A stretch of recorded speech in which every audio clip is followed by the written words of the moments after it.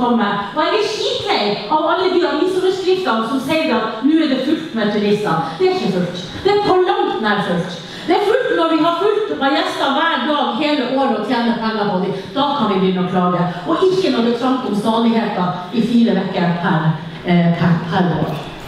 Men vi er nødt til å ha begge hendene på rattet. Vi er nødt til å vite hva vi gjør. Eh, til å komme til Norge.